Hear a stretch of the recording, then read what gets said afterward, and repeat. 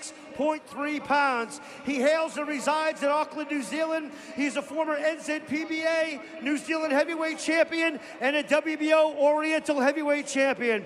He has 20 professional fights with 19 wins, one loss. 10 big wins coming by way of knockout.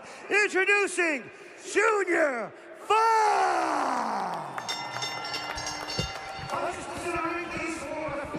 his instructions.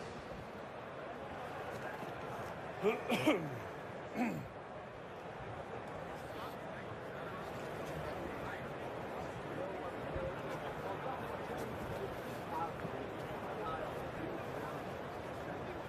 gloves. Just remember, you listen to my instructions at all times, you protect yourself at all times. Good luck to both of you. Go back to your corner and I'll call you at the bell. Timmy, what are we in store for here between Browne and Fa? Well, Fa, he's a good-looking heavyweight. No, he has great size, 6'5", great footwork, got some great tactics that he uses inside the ring. That lead hand, you're going to see that lead hand be a wand tonight. That's a probing type of jab. You know, the eyes have to have something to see, and that's what he uses. You know, some guys use it as bait, some guys use it to measure, but Fa use it to distract and to be able to land that backhand, which is his right hand.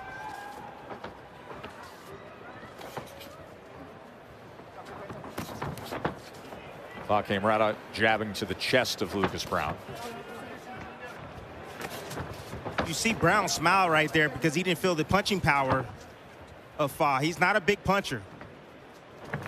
He's more of a boxer. His temperament is more to be safe, be clean with his work. He's not going to look and force the action. He's going to fight off the back foot and take whatever's given. Ooh, nice Short left hand on the inside. And I think Browne was e expecting a little bit of separation, maybe even a break there, and Fa just filled it with a short left hand. Now wide sweeping.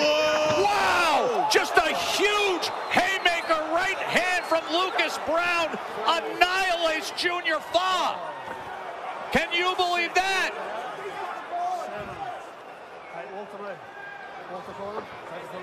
Junior Fa still with 90 seconds to try to survive as Lucas Browne just floored him with a massive wide sweeping right hand.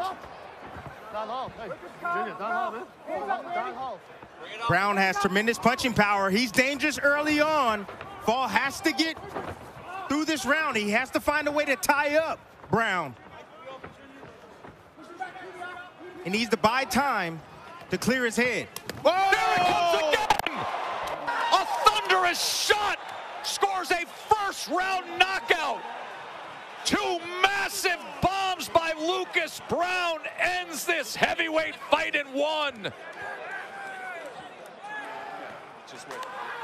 Pure shotgun blast from Lucas Browne. At 43 years old,